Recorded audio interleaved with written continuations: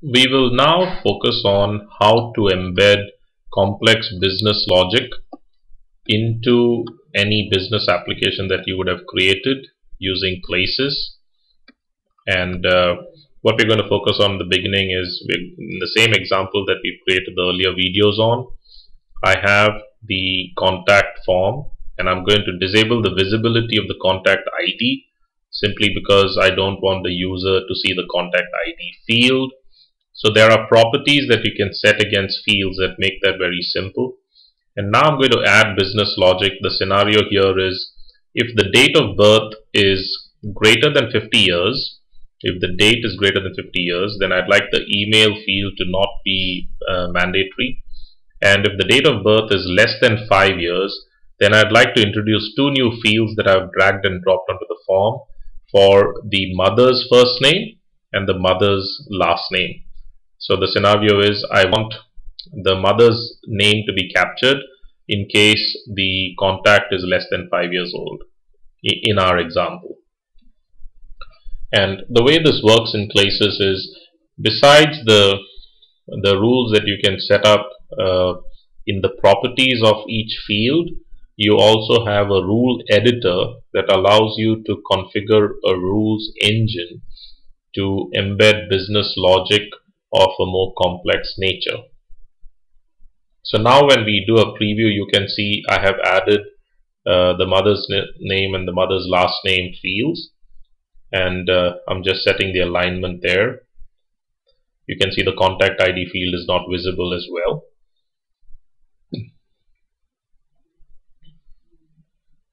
So once I work with the alignment and the uh, of the layout of the form, I now feel the form is ready and the next thing I want to do is I want to embed the required business logic.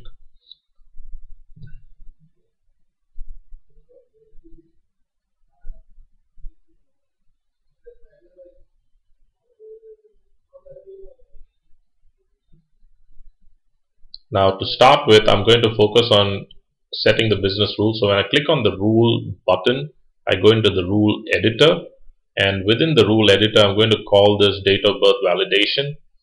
And uh, this is just the name I'm giving to the rule I'm trying to create. And this particular rule is related to creating a, uh, a logic associated with the date field. So I'm going to create what we call a session variable which is a variable that I can use to store any value during the user session on my application. I've called it vAge, variable age.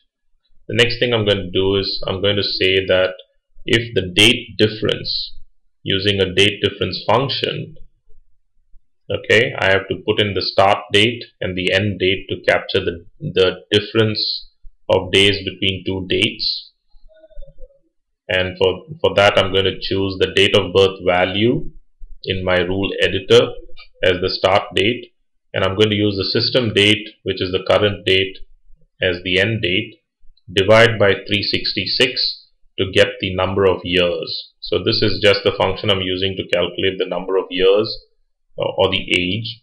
I'm then going to populate the age variable the age session variable with the age. So I can use that for my logic of enabling and disabling the mother's first name last name field etc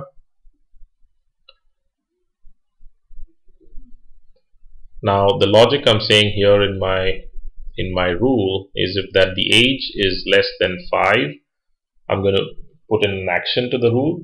And then the second scenario is uh, if the age is greater than or equal to 50 what should the action be?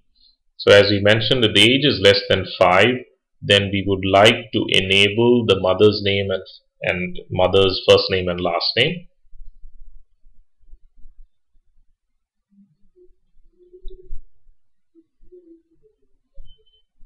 You can see that every time I'm trying to embed rules in the rules editor, I have IntelliSense uh, that brings up all the available functions and prompts me on the properties that I need to set for each function etc. So the first one is if it's less than 5 years of age then I want to enable the mother's first name and last name. the rule I'm setting right now is if the age calculated is greater than 50 then the email field is not required so I'm disabling the visibility of the email field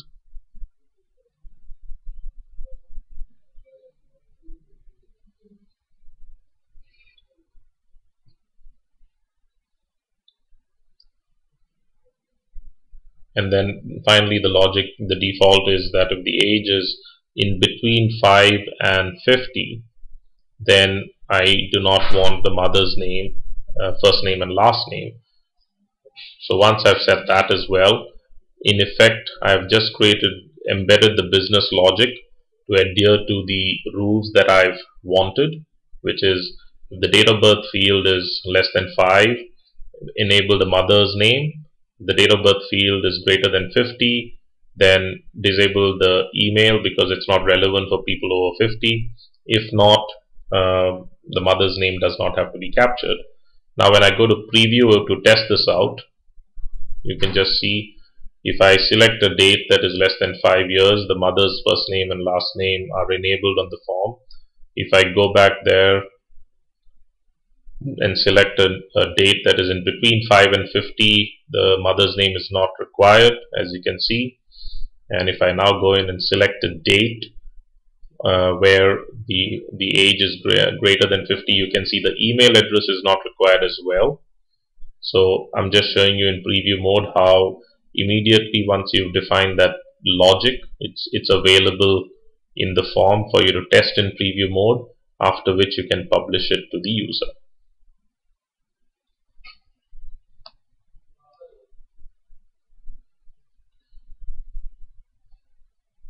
Now once I've saved the update I've made to the form, I'm going to go back to the designer and my next step is to embed uh, another example of business logic. In this case, I'm going to say that the first name and the last name are required fields or mandatory fields. And this could be done by simply setting a property in the rules uh, in the fields property window and I can put in a custom message as to what should the validation message prompted to the user be. So the first name and the last name are now being made mandatory fields. And the message is I need to have those two fields populated every time I try to save the form. So as you can see, if the user tries to save an entry without the first name and the last name, he immediately gets a validation message and he can look at the form and see which fields are now mandatory. Uh, the next example is let's say I want to have a validation rule that the first name and the last name cannot be the same. So I want to say that any name that the user enters into the first name field cannot be equal to the name entered by the user in the last name field and if it is in, indeed equal then we'd like to throw a validation message that prompts the user that this is not acceptable. So I showed you two ways of putting in the validation. One is as a property of the field and this is an inputting a validation message uh, by using the rules editor and uh, here I'm just going to put a message box validation saying if the first name and the last name match then uh, please display this message box.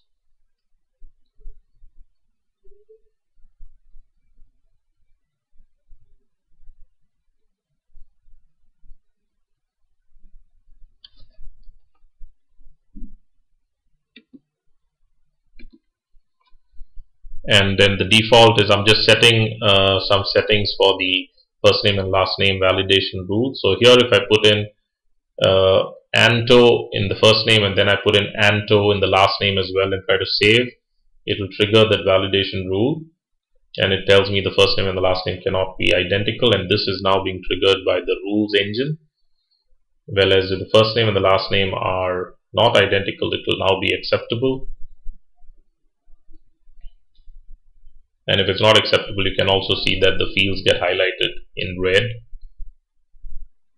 The other rules are pertaining to the date.